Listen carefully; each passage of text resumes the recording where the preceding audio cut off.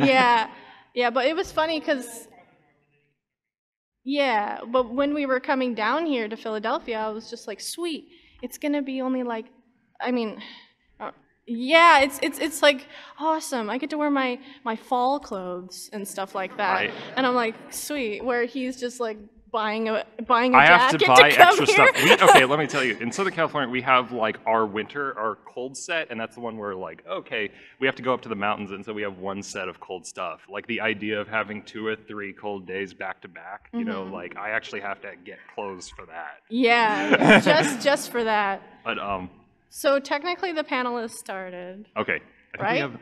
Actually, we still have technically one minute. Oh, whatever. I will also complain about one thing for one minute, which was when I when I made a jokes of minute. when I made jokes of LA traffic, a bunch of people wrote to me from other parts of the country to complain about their traffic in other locations. Particularly, I got so many people from Washington D.C. I was like, "Oh, you think you assholes? You think that LA traffic is bad?" Excuse. Um, actually, I didn't get anyone from Atlanta writing in from Yeah, that. not from Atlanta. Okay. Yeah. So now did we start? Okay, it is 11:29, so I believe it is now the start of the panel. We are good to go.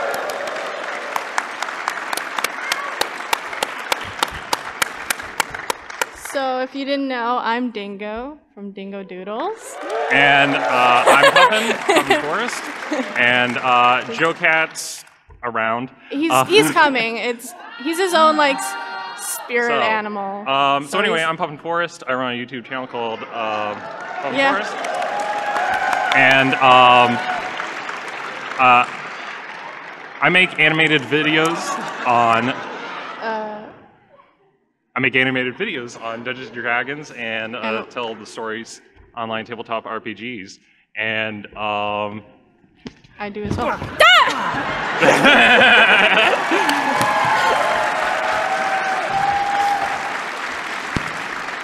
What up, nerds? Okay, you made that head. I did, yeah. You have to wear it the entire panel now. I'm just kidding. I'm just kidding. But you made this bed. You must lay in it. That sword, that sword and shield was provided by Patrick. Shout out to Patrick if you're out there. Thank you, Patrick. Okay. Yeah, you're lucky my reflexes are not great right now. uh, Oh, it didn't hit you too hard. anyway, this is JoCat. Hi.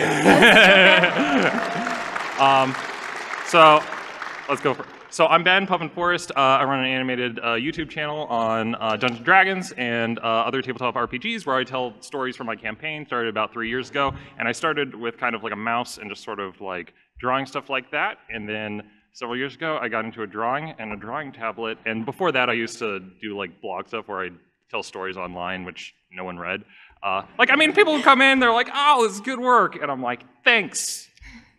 And um, you know how it is, like online content's like yelling into the void. You put it out, and you know. But it, I could definitely tell, like YouTube, it was like this was like this was the content I would kind of watch myself. Uh, but anyway, JoCat. Uh, my name is JoCat, and I do uh, animated D and animated D and D content on YouTube called the Crap Guide series, where where I inform people the best way to play D and D, which is to play it wrong. Uh, and I'm Dingo from Dingo Doodles, and I animate. uh, I animate a D&D series, pretty much of like a campaign that I had played, uh, called Fool's Gold. So I'm doing episodically, kind of like a retelling of it through animation. So, yeah. And other stuff. I, I do other stuff too. I do like guest spots. I had you guys as guests, which was fun, and uh, I do some life videos too. But mostly, I, I have a real passion for D and D. I'm on a D and D kick, so I just keep pumping out the episodes because you guys keep hyping me up, and then I'm just like, I guess I'm doing the next one because I'm just excited and now. Yeah. And we are we are part of something that is ever growing, the D and D animation community. Yeah. It's getting larger and larger by the moment. Like, uh, It's kind of crazy. Yeah, that was Yeah. that was crazy because I think it was like two years ago I released the video "Why Won't My Character Die," and then that one got like hundred thousand views over like the weekend, Mm-hmm. and then it just kept like growing from there because I had been you know making it for like a year where it's just like you put it out, and it's like yeah, Ben, you were you were sort of like the first big one that everyone kind of knew of, and then. and people think I'm arrogant.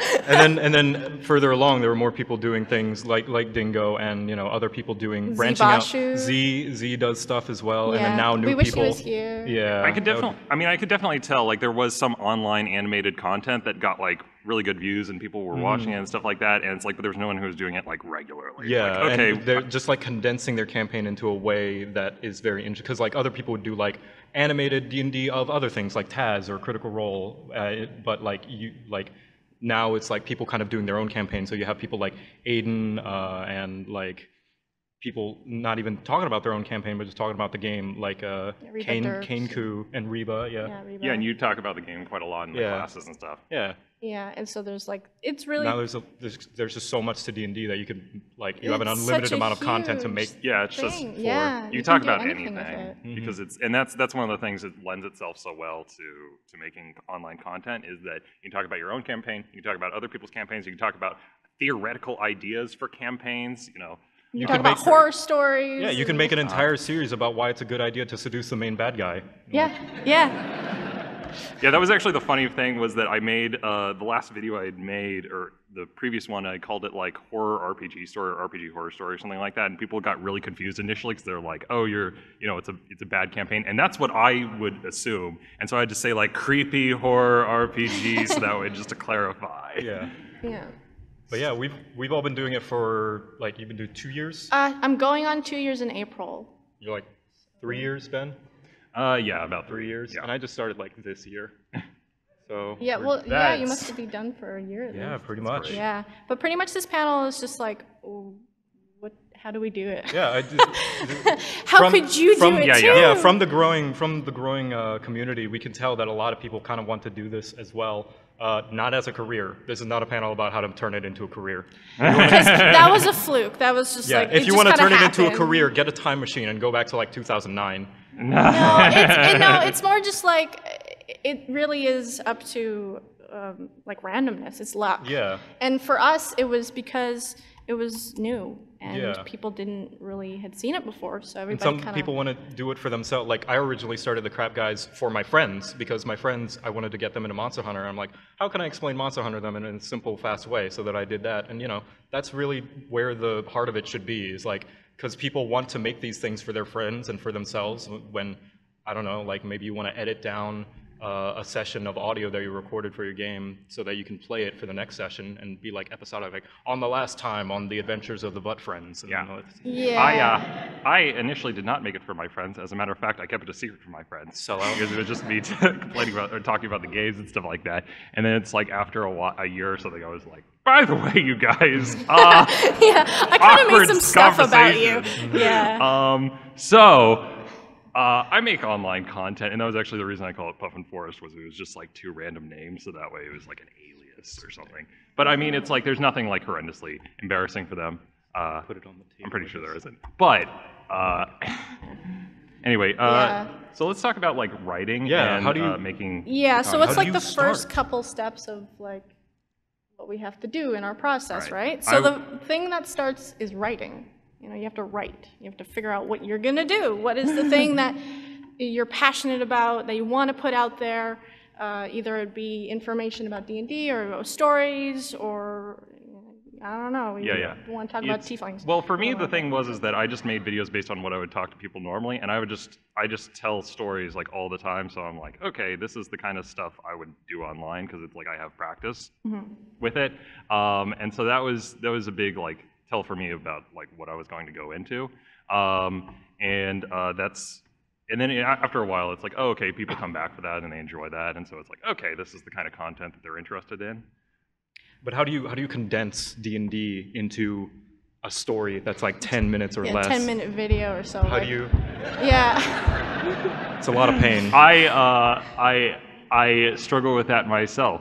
How do you have a 50-hour campaign and try to condense it into like Well, 10 never- minutes? That's why I went episodic. Like it's literally why I I went Right. episodic because there's Well, Dingo, so you're much the only stuff. you're the only one here who does like an ongoing story. How do you condense the each session? Okay, so the main thing when you're trying to tell a D&D story is that you're trying to hit what was really important in that session. Like what are like the three things that was super important.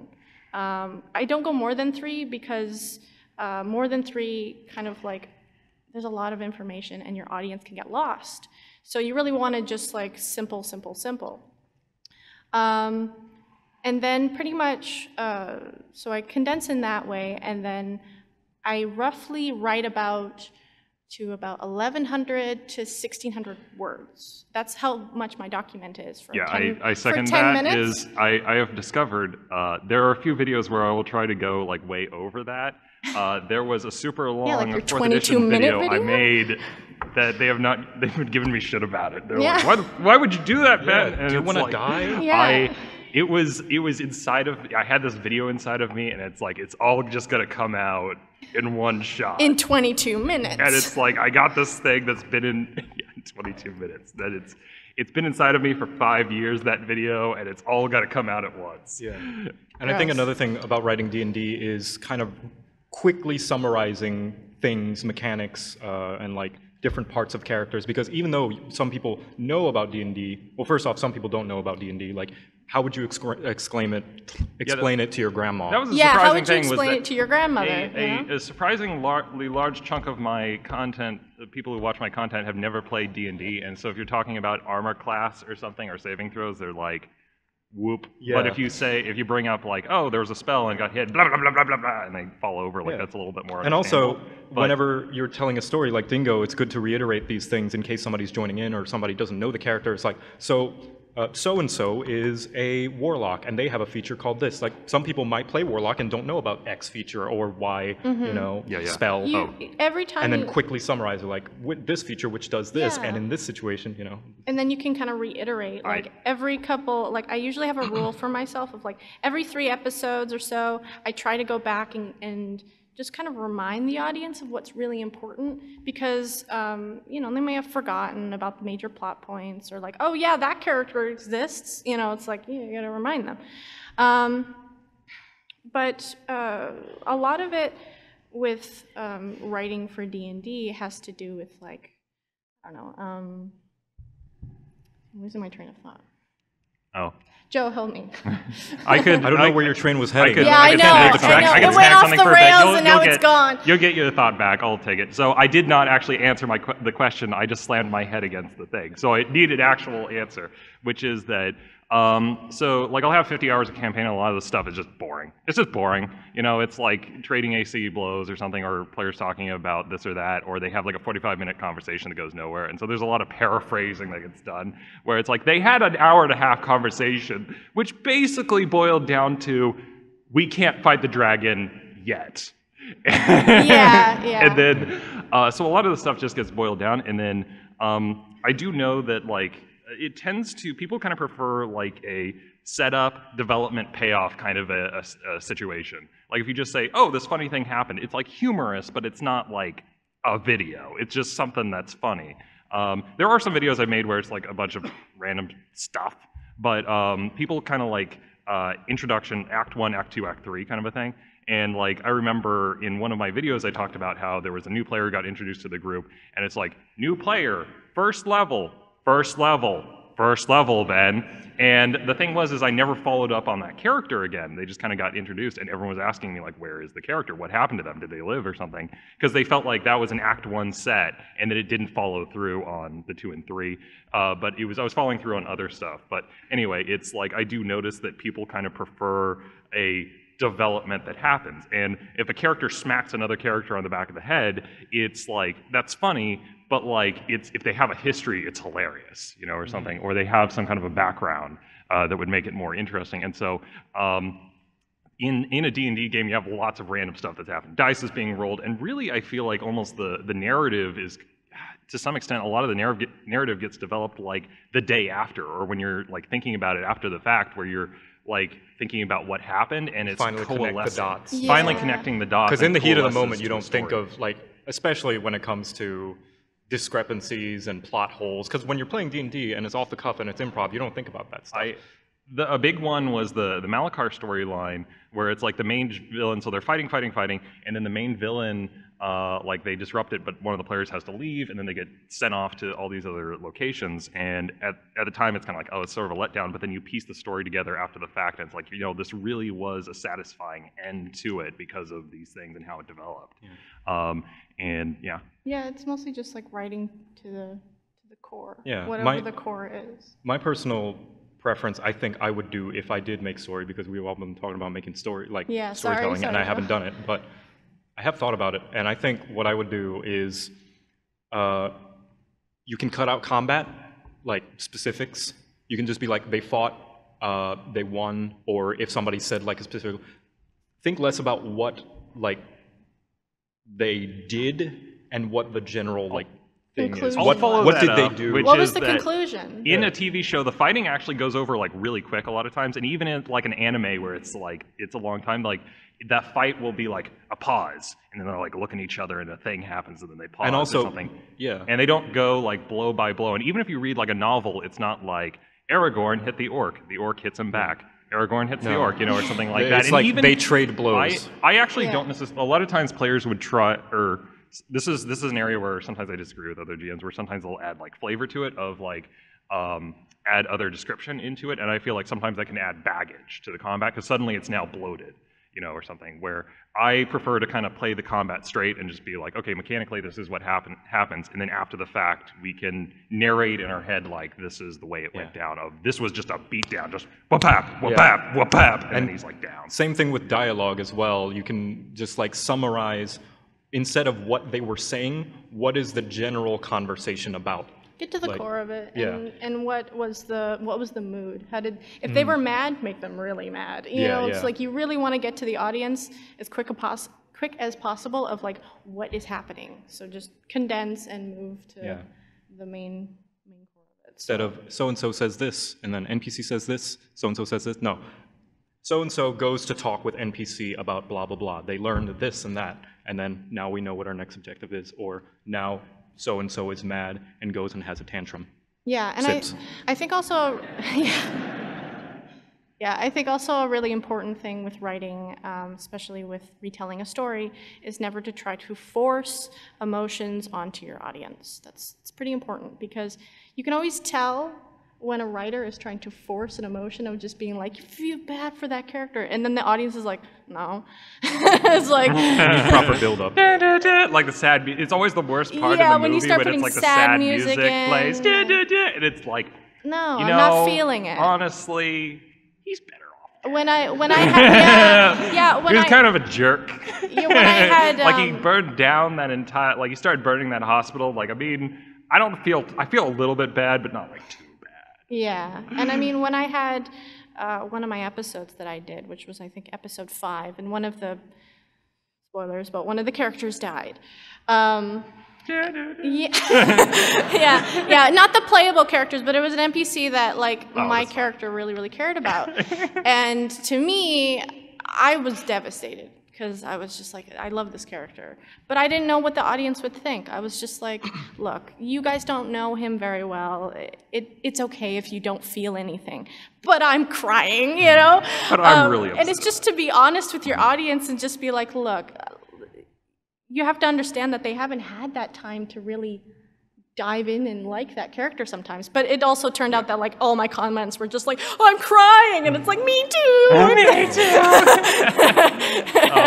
so But uh, anyway, Yeah. talking about. Oh wait, wait. I, one thing, since I'm like the outlier, I didn't talk about making jokes. Yeah. uh, and how to be funny.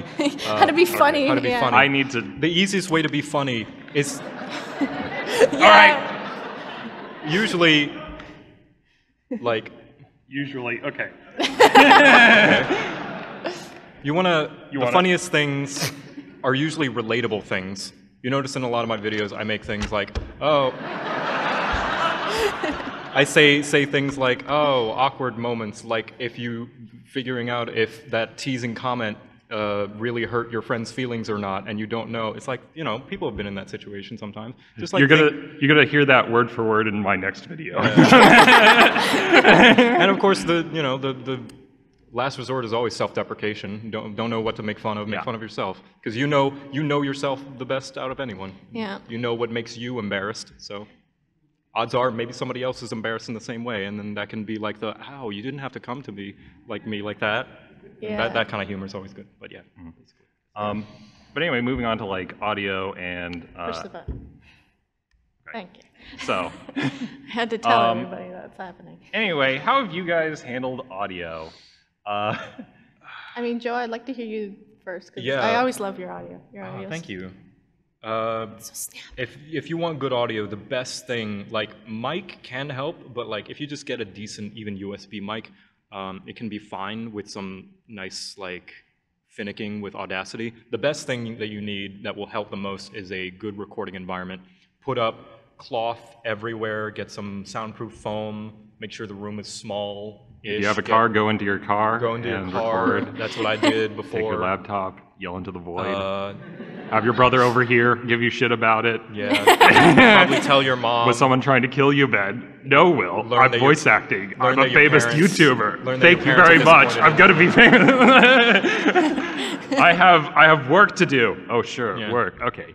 and uh, turn your audio gain down real low. Yeah. As low, like even if it's like bare, you can barely see the waveform because you can always turn it up. But if it's like too high and it's clipping, you can't recover that audio. It's like it's done. It's gonna be like, and it's like, sorry, that Too was, that was much, loud. yeah. It's gonna be too much, and you can't get it back. Mm-hmm.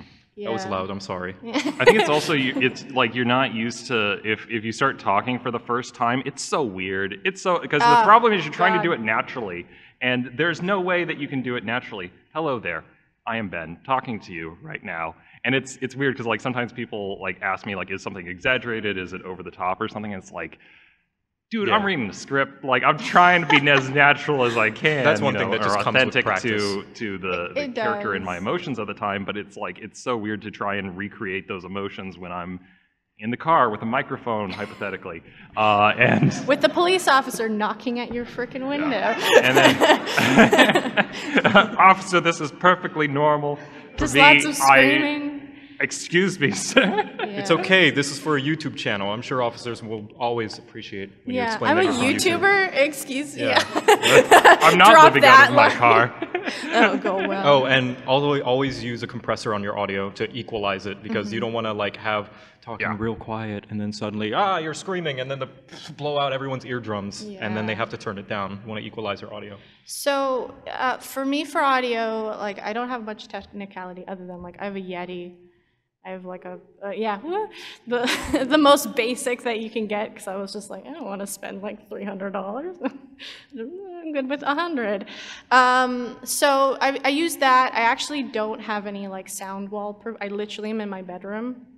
And then I close all the doors and I make sure everybody's out of the house. I'm just like, I go throughout the house and I'm like, I'm gonna be screaming. You know, please tell everybody that I'm not dying. So I, I go into the- my bedroom and then I just have a chair and then I just, I just speak. But for me, it's a lot of, I want it to sound like you're in the room with me. Like, I want to have a conversation when I'm doing these recordings because uh, the whole telling of a story just feels more natural if you're thinking of it being like at a party. Because before I did YouTube, that's what I would do. I'd go to a party and be like, hold on, I have to tell you about this one time. Yeah, you got to tell it like you're telling it to a I friend. sang karaoke and it went really bad. I, I had to practice a bunch of voices to so that way the characters could get differentiated because earlier on I did not differentiate the characters by voice and so you had this problem where it's like they all kind of blended together because I would just speak in a normal tone and it's like this is not going to work. I have to have different voices. yeah, like even accents I have like five I could do, and there's one accent I can do, and that's absurd. And damn it, he stole that accent. Now I can't use it for any other character now because he like owns that character. And so, because the thing is, I would use that absurd accent for like other characters. I'm like, oh, hello there. Okay, this is me. I'm doing my accent, and then because it's like I had the one, and then now he took it, and so I can't do it again. yeah, yeah, and I find that with uh, with like voice acting, which I mean, like, I'm still very much a novice. Um, But if it feels cringy, you're doing it right. yeah, you. It's. I think there's also this instinct. I remember when I first started, I would like, "Hello, okay, I'm doing," and you talk like really soft spoken or something like that because it's it's weird. It's really weird to just be by yourself, just kind of shouting into a mic. Yeah. And then it gets slightly less weird as time goes on. You just Um, keep doing it. It, it. I totally get it if you're not comfortable. Believe me, I oh, yeah. understand. I, Um, but you have to just keep pushing through and and realizing that you have to do what's best for the video. Sometimes that means putting your, you know, anxieties aside and being like, okay, Just put your pride aside. put your pride aside um, and just put it out there. Be embarrassing. There's so many times, there's so many times when I finish a video and I can't even watch it when I'm done. I, I cannot watch some of my older videos. The the latest I'll go back like I'll go back like a year. And No, I'm, I'm talking about my now exist. video. I'm talking about my now videos. I'm talking about like the last video I Oh. posted like a couple weeks ago. I uh, would finish it and I'd be like, It's can I have Felix? Can you watch it? Tell is me the- if there's something wrong, and then the- I'll upload it. It is the worst feeling in the world when you upload a video and, you, and like I will rewatch it or something and, le- and like, mm, yeah, totally should have fixed that last Yeah. week. Totally should have fixed that last week. well, my videos are perfect. so. okay, thanks, Joe. yeah. We Yeah, that- yeah. That's great to hear. That's the biggest thing when it comes to any voice acting or like creative is like you just have to let yourself be embarrassing and you are going to be cringe and you just got to get over it Yeah, you just have to move forward. because eventually that cringe is going to turn into like genuine like good substance and good it's going to be like whoa that's looks so natural they can just do that and you know if if you're still uncomfortable even the professionals cringe at themselves freaking like i'm sure matt mercer sometimes listens to his own voice and it's like Ugh. Uh, but anyway, getting on to animation, uh, I will now Click the pass button. Click the button. the buck. I will now think pass the buck over to What? these two and Forcers, kindly can fuck we, off. Can we get? can we get this? Ah, there we go. Cool. Okay. Rad. Um, so anyway, uh, the thing is that these two have way more background in animation and artwork than I do. Yeah, I, started think Ben. I think you should ago. go first. yeah, that's you, why I Oh, think you should great. go first. Yeah, you. Well, that's good. That's great. You did- That's You did not do any art I until not, you no. started your YouTube no, channel. I, Which it's, just I, blows hate, my I hated art. Hated, hated, hated, hated it. And if I could go back in time and be talk to my high school stuff and be like, hey, by the way, you're going to be making cartoons, I would punch him in the face multiple times. Because I, I just hated it because it's like, it's so slow. It's like writing, but like really slow. You're like, hey, I want to draw this thing. And then you spend like two hours on it and it looks terrible. like, why would people do that? Um, and it was uh, it was actually what happened. Once again, I was running a blog, and I was like writing, and I tell stories and stuff like that. And then um, I'm like, oh, I kind of want some art for this. And then I saw an artist working, and I think the thing that really sold it for me was I realized like they were making mistakes and kind of backing, going back over it to like fix it. Where someone would draw a line, I'm like, ah, and then they erase it, and I draw another line, and I'm like, oh, like, and I, it made me realize how like you know they're fixing stuff they're going along slowly and like and seeing the sketch work and realizing their thought process. I'm like hey i could do that. And then i tried it and i was like oh no i can't. Uh, but I, I actually i got into art more as kind of like an intellectual thing of like i can't do it but why? And it's like and It's so like i just kept puzzle. For yeah, and I kept I kept practicing at it, but also um, when I first started, I just used a mouse to draw, and it was that was why the character designs were the way they were. It'd be like two circles for eyes, and then an oval, and then two glints. Didn't you use MS Paint? Uh, I used something very similar to MS Yeah. Paint that was like the bootleg version Yeah. of something else. but anyway, um, so uh, so I started drawing with that, and so for the first year, all of my art was done with a mouse, where I just kind of click, click, click, click, click, and then I used started using a drawing tablet. And uh, the first one I did, one of the first ones I did with a drawing tablet was uh, the Critical Role video, the animation for that. And that was because I was like, if this artwork looks terrible, I'm going to get stabbed to death. Uh, and so the I love the fans. It's just that I I ha- I'm like I really want this to actually look decent, and then people are like, oh, this is pretty cool. And then the next one I made, or one of the ones I made after that was like, well, my character died, and then it, it became What better. would, what would be your advice for someone who has never drawn before? What's something that you wish you knew when you started?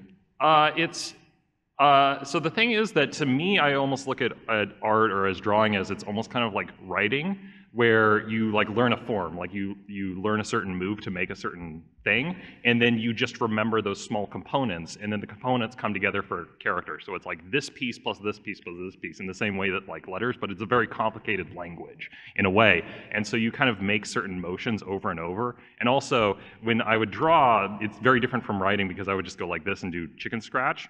And then it wasn't until later that it's like, oh, you're using your whole arm like to make certain things. And if you if you don't really draw, it's very unusual. And plus, I like I was always worried about like, oh, the line's not straight, it's gonna be kind of squiggly.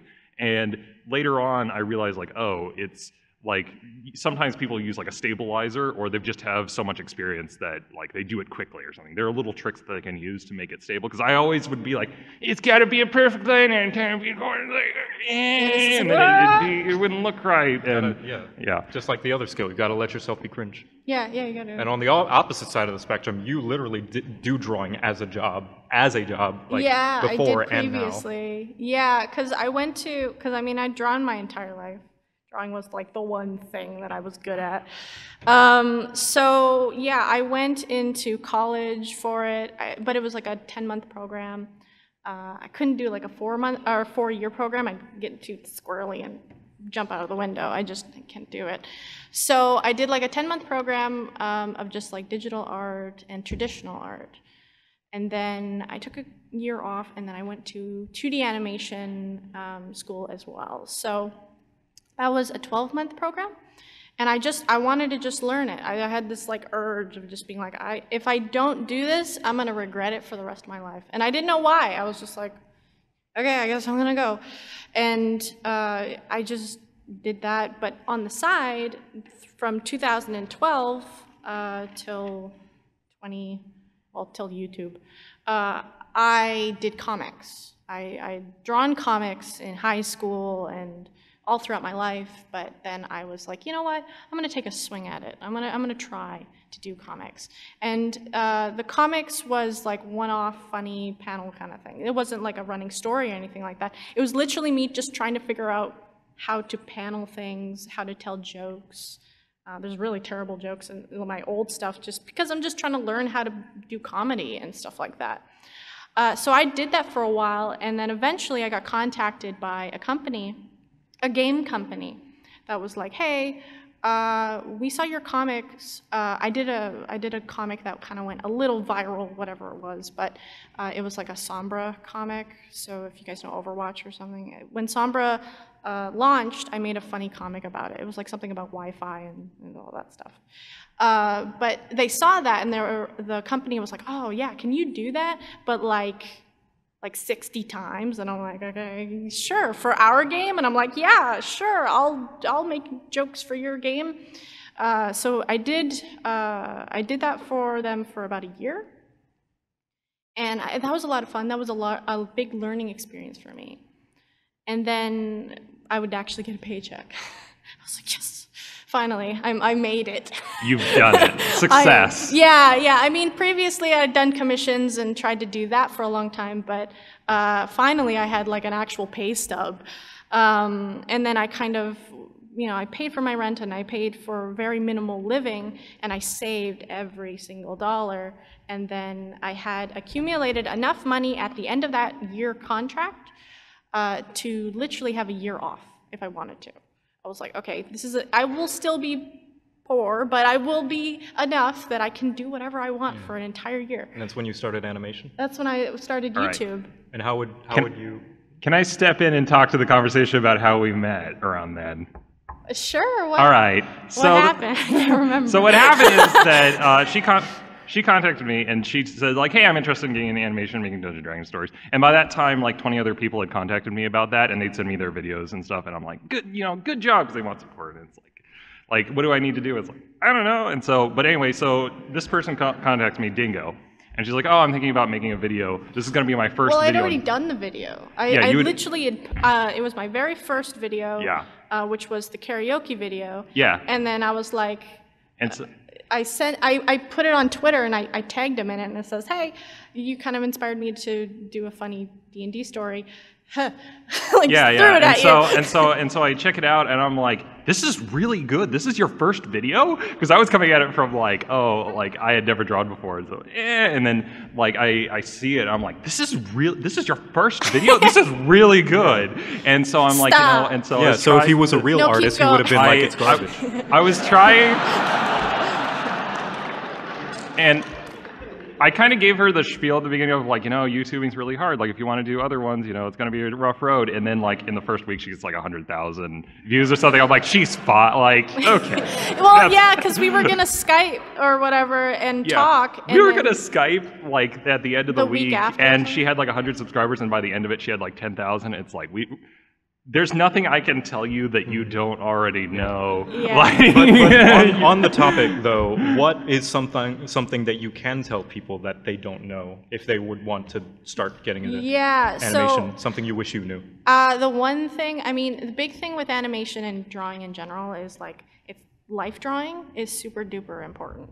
I didn't realize how much life drawing was important to me until like I left college and then I didn't have it all the time. So What is, life, what is life drawing? yeah, life drawing is pretty much when you have like somebody naked uh, stand in front of you and then you have to draw them.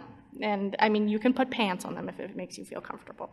Um, but pretty much we did that in class all the time, and they would be doing poses like uh, every five seconds almost. It was like five second pose, five second pose, and you'd have to draw it really, really quick. And by doing those courses, I did so much growth in those things, and that was super important to me.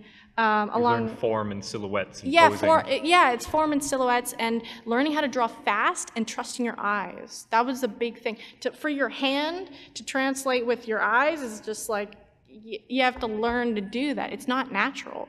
You have to focus and uh, keep, keep working at it. Uh, but also with animation, um, pick up the, the book by Richard Williams, the animation book that he do, di- does. I can't remember what but um, uh, the creator of Yeah. Richard, uh, Richard Williams is. Yeah, and also He's the the anim, animator's survival guide with the twelve Yeah. principles of animation. Is that is that the one? No, that's Ollie Johnston. Yeah. I will say I'm always That continuously impressed by your guys' artwork. It looks Thank you. phenomenal. It And is pace always pace great. yourself. As someone who doesn't pace themselves because I'm a hypocrite, pace yourself. He was. I hope Yeah. you guys who are fans of him appreciate him. He's been working nonstop on his video. I'm, I'm done though. It's uploaded now. Oh, Yeah, he was doing it I all did not know you completed that. today. He was before this panel. He's like, I'm I'm working on Yeah. a video right now. But yeah, uh, one one thing, one technical thing. Learn how to do in betweens. For those of you who don't know, in betweens in animation is if I draw one pose of my arm like this, and then I draw a second one like this, instead of going straight ahead, drawing it here, here, here, here. I don't know where the arm's going to end up. I draw it here, I draw it here, and then I draw the middle here, and then it's going to look pretty natural. Do that with everything. That makes animation so much easier. Yeah, because you have to cut corners when you're making such a huge amount of content. Like, Yes. like to be honest, our stuff is like uh, I call it slutty an- animation, but uh, it's it's just like you have to cut cor- corners where like my stuff is all black and white pretty much. However, you can trick people by c- using colored lines. So if you have a background and let's say there's a bush, just draw the bush green, like with a green line, and your mind will naturally fill in that color. so, Ooh, also, also change the scene a lot. Don't do the same like no, keep going. I didn't tell you to stop. One thing that I, a pitfall that I run into is I'll draw a scene the same way as if the camera is like looking at them from a profile view and you can see their whole body for the whole thing.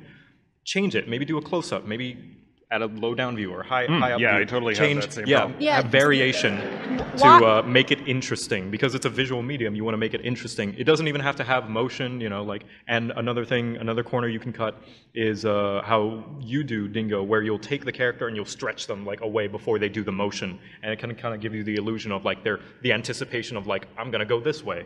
Yeah. And a lot of animators do that. You can just do a little squishy and, Yeah. and you're done. Yeah. But uh, yeah, there's lots of things you can cut, and you kind of also need to, with animation, get into the mindset of like, it's good enough. Move on. learn learn to finish it. Don't add minute detail. Like if Don't it's like not perfection. don't perfect don't Oh, you perfect it. can't. You you can't with can't. You'll never will, and you'll never finish it. Yeah, and like shove it out the door. you can see the progress from like one like my first video to the latest one you can see prog- progress of just being like i've gotten faster. I've gotten uh, the lines are cleaner and stuff like that. Because you get more confident as you go on. But if i had just spent my entire year on one video and be like it's got to be perfect then i wouldn't have had that growth. I would have just kind of gotten stuck. So you need to just get into the idea of that nothing's perfect and you're gonna do way better if Yeah. you just keep moving on.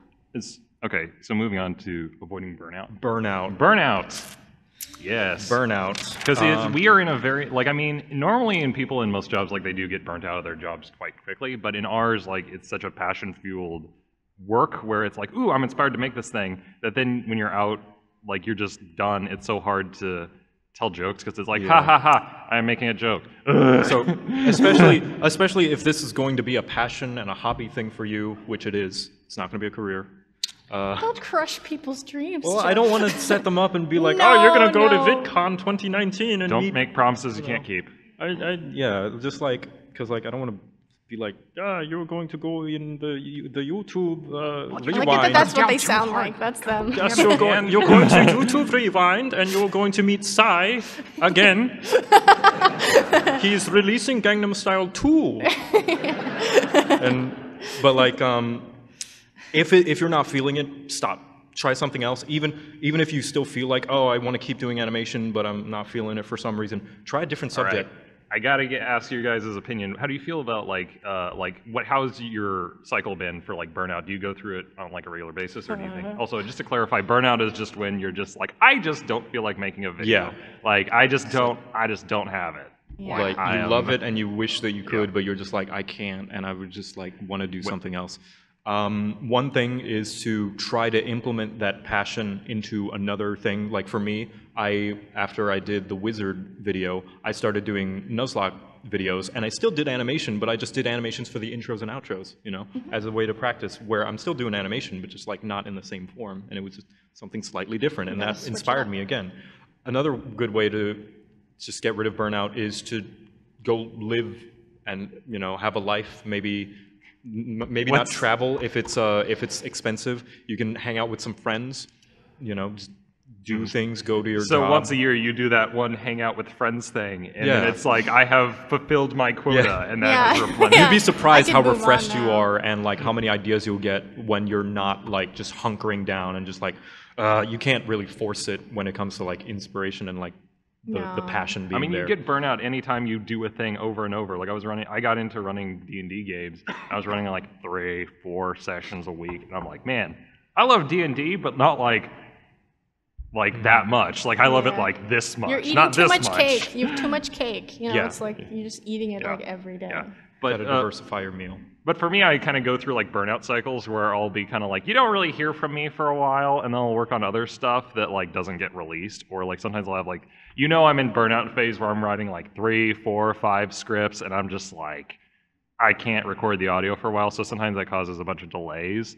Um, and then other times I'm like, ooh, and then I'll be like putting them out. But there was a period of time when I first started the channel where I was just, I had like a winter break to make videos, and I was just waking up and then making a video for the full day, and I'd go to bed. And um, that was my entire day for like weeks and weeks for several months, and I was just like, this, that not I cannot, that is not. Is that not normal? Ooh, one thing. Okay. If you have a project that's in the works, and this goes for anything, like any sort of hobby or like passion project, if you have a project that's in the works and you really want to work on something else, at least finish that project first, but don't go back to it and like at least finish it.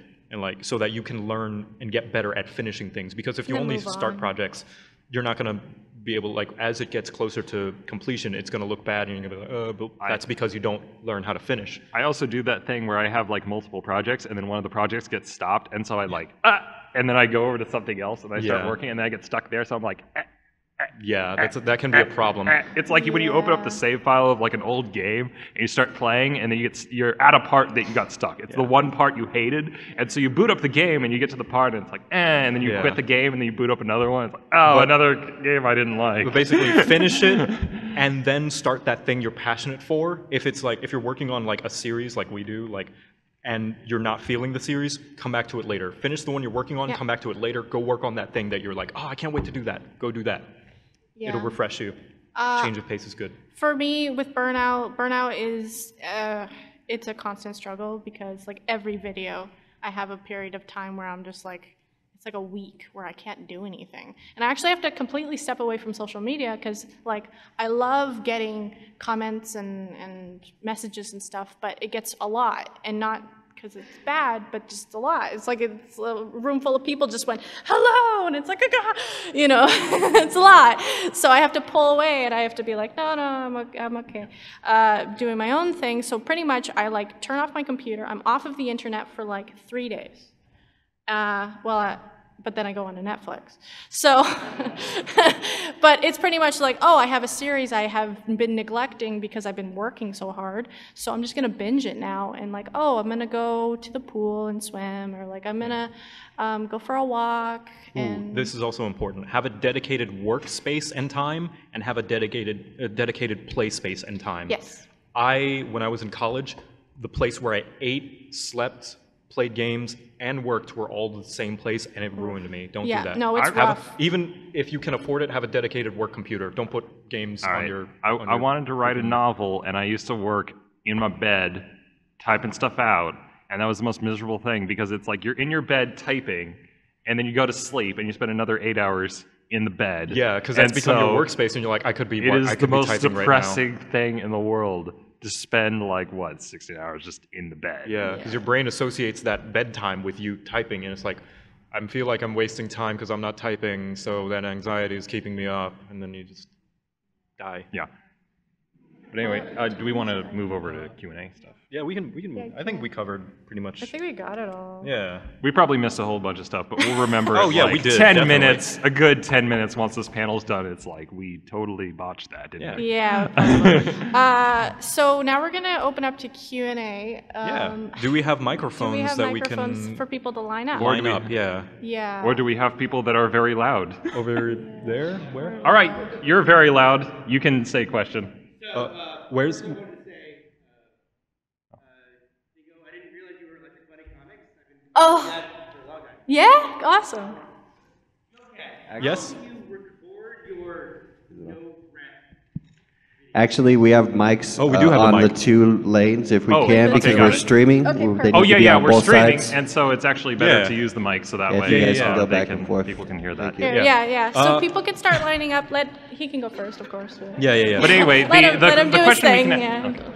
no, after you. Yeah. yeah. yeah. So, JoCat, how do you um, record your no breath videos? Uh, so I have a stutter, a very slight, because I have fat lips, and I. Uh, it just takes practice. I do a bazillion takes. Like I'll, sometimes one line will take like t- ten takes, and I just kind of learn the line, repeat it over and over, and um, just until I get a natural one. Just like over and over again, over and over. Just practice, rehearse. yeah. I don't speed it up. Yeah. I just practice. Thanks. Uh, so we'll probably just like back Yeah, and yeah. forth, back and forth. Yes. All right. There you go. Hello. Oh, Hello. Hello.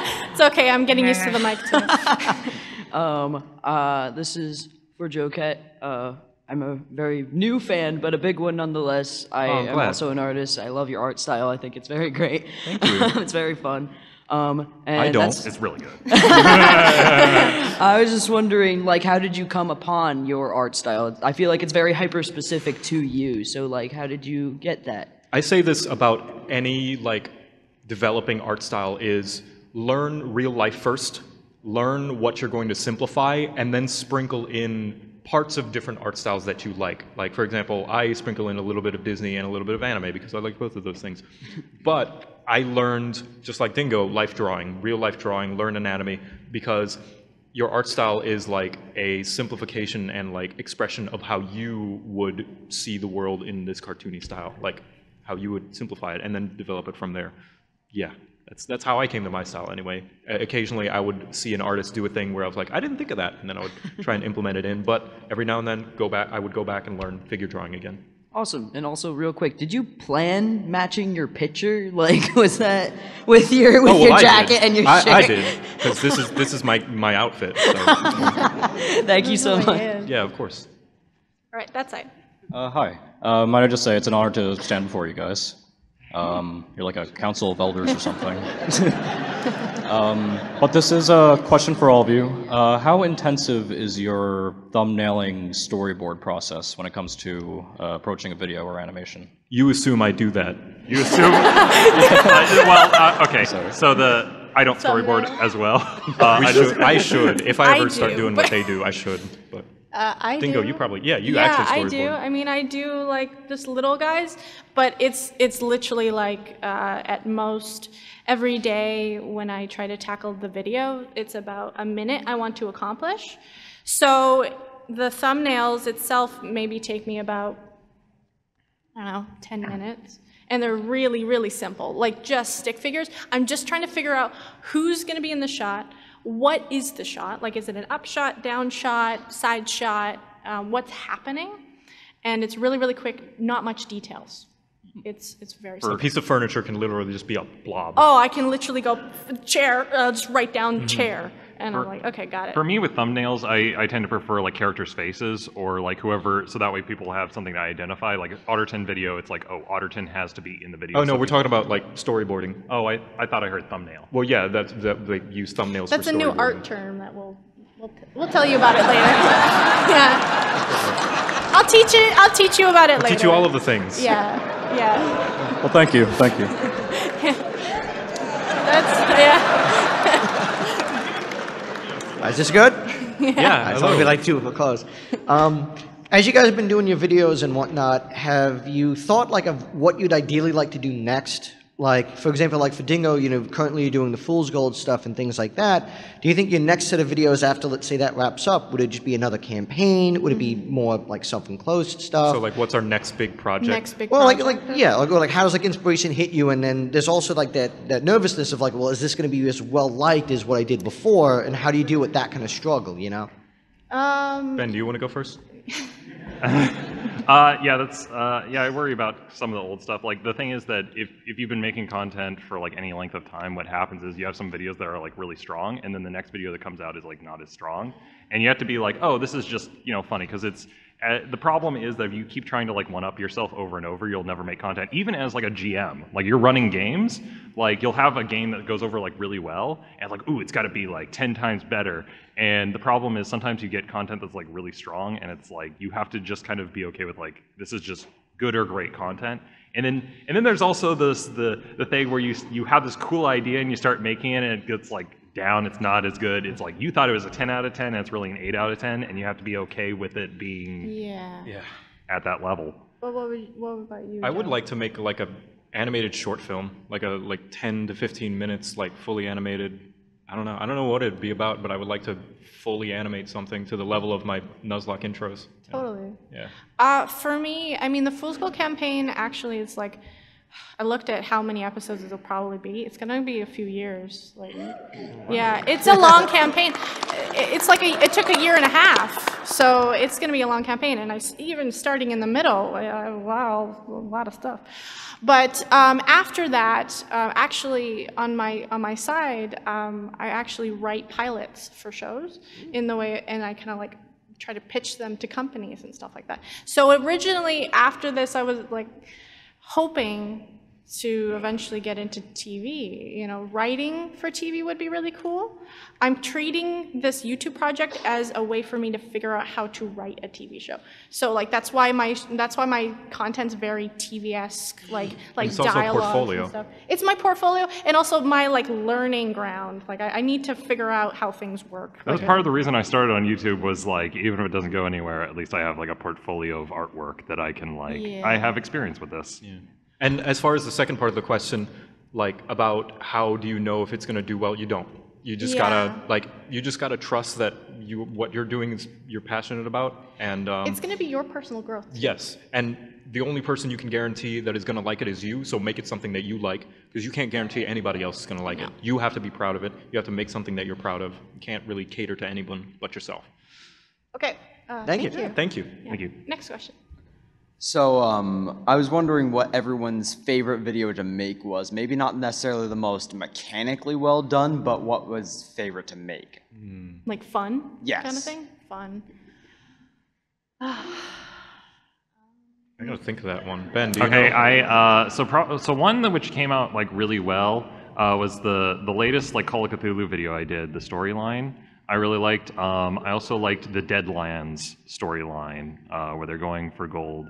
Um, and then the the other one that I really liked was um, there was one with uh, Bernard the the whale and Bitey the spider. And then at the end it has the joke with the turtle friends where they're like. Uh, uh, what's your guys' name? Turtle beep!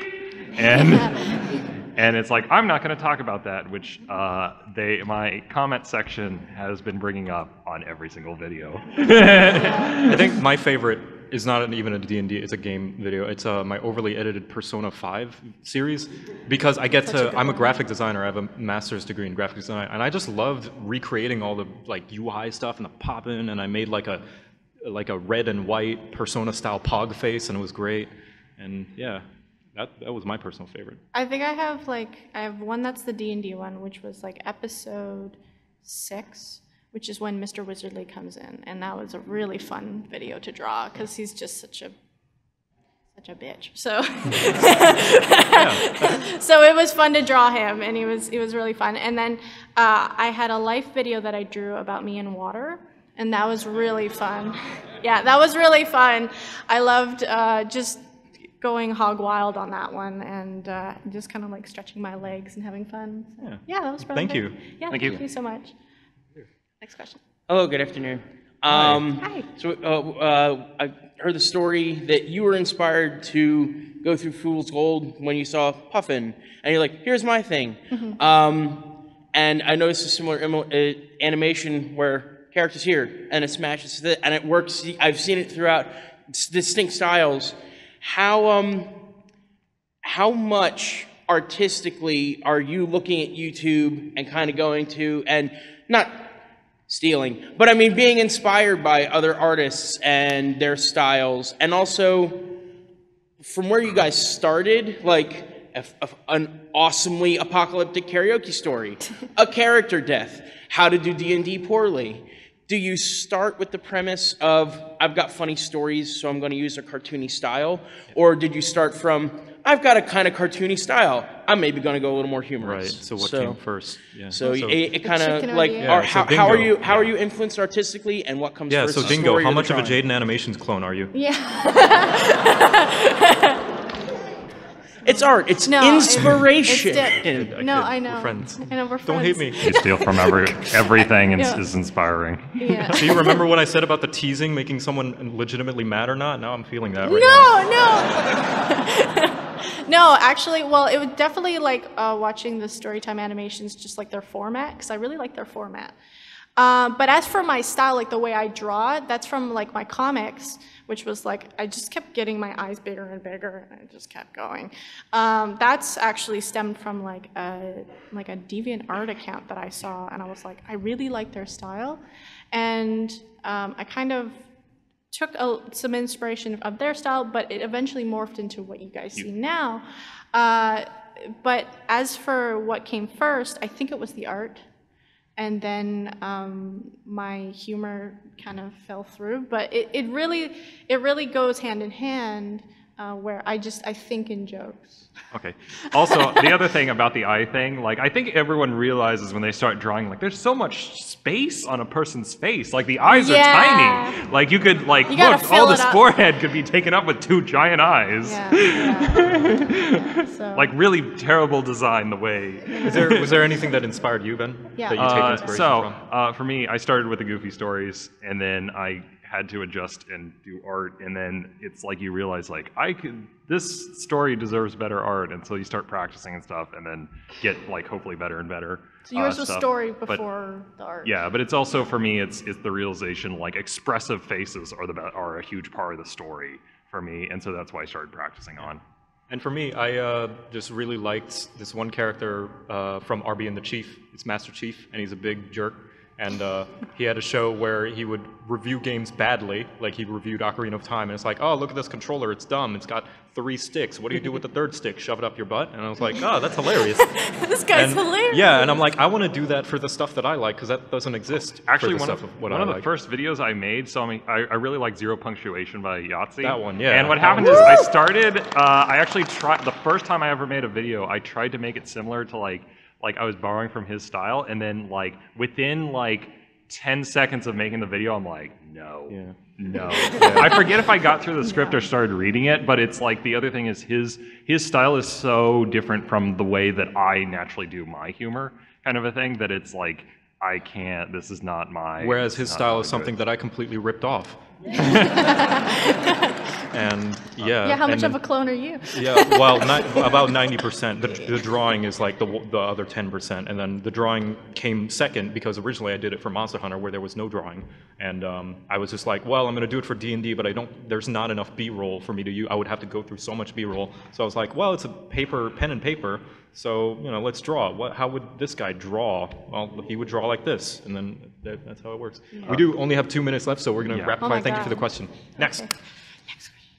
So, um, first up, I want to thank you, JoCat, face to face, for the Surfetched video. You're welcome. Because that came out of nowhere and that was amazing. um, but secondly, for the three of you, um, and JoCat specifically, because he made such a big jump in his videos, is what made you decide to do videos on D and D specifically? Why D and D? Because I like it.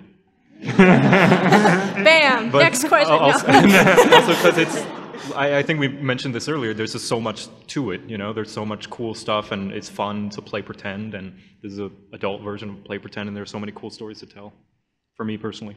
Yeah, I mean, with me, Dungeons and Dragons was way more interesting than my life. So I was just like, this seems like a way better story to tell people than than my actual everyday. All right, Ben, go fast. Yeah, we have one, time for maybe one more question. Yeah. Say it really Ben, quick. you didn't answer. Go You didn't fast. go fast? Fast, quick. Don't tell a story. Uh, anyway, I like I love Dungeons and Dragons, and so that's that's what I do. Anyway. Great, perfect. Okay. Next. Yeah. Hey guys, um, so you have all become really successful in your own right, and it sounds like you all started just doing this for fun. yeah. Yeah. Um, a quick question: How many hours a week do you actually spend working on this? And is it supplementary income or full time now? For me, it's full time. Full-time. And Full-time. Uh, I the thing is that uh, when I do an animation, it's a huge time sink, and then other times it can be kind of slow. Yeah, it's scripting. inconsistent. I think if I were to average, it would be uh, probably like a typical 40-hour work week. Mine's 40 to 60. I, I, I work on a consistent, like I work, you know, five to six days a week, which is not healthy. Don't do that. Yeah. Thank you. Okay, one more. Last question. So sorry, anyone who we didn't get to. Um, sorry. So, uh, Ben Puffin. Yeah. Uh, I only recently just became a fan of your videos. I looked at them and I just go, meh. But then I started watching them. I'm like, this guy is actually pretty cool. Uh, this is mainly for you then. Uh, my group is so bad with remembering what it is. I actually end up having to become the group chronicler. I just want to know, like, do you do that when you like run groups? Do you go into this thinking like maybe something in here is going to be funny, or do you just go in and just play the damn game? Um, so the thing is that honestly, I just kind of play. Like I do have a bunch of ideas going in, and then I have to remind the players what's going on. Um, but I think sometimes you just kind of go in and play, and then just see what comes out of it is the best option. Okay. All right, thank you so much. thank you. Thank one- you everyone for coming. Yeah, and one Appreciate last thing. Yeah. One last thing. Um, today at 2 o'clock, I will be signing at booth uh, 4001. 4001 uh, at the Deck of Many. Can I So- come? Yeah, you can come if you want. But, but yeah, so I'll be there from 2 until I get tired, which is, I'm trying for 4 o'clock. So at least till 4. Okay. I'll be signing. Very cool. I'll, I'll do it. Thank you so much. You're all beautiful.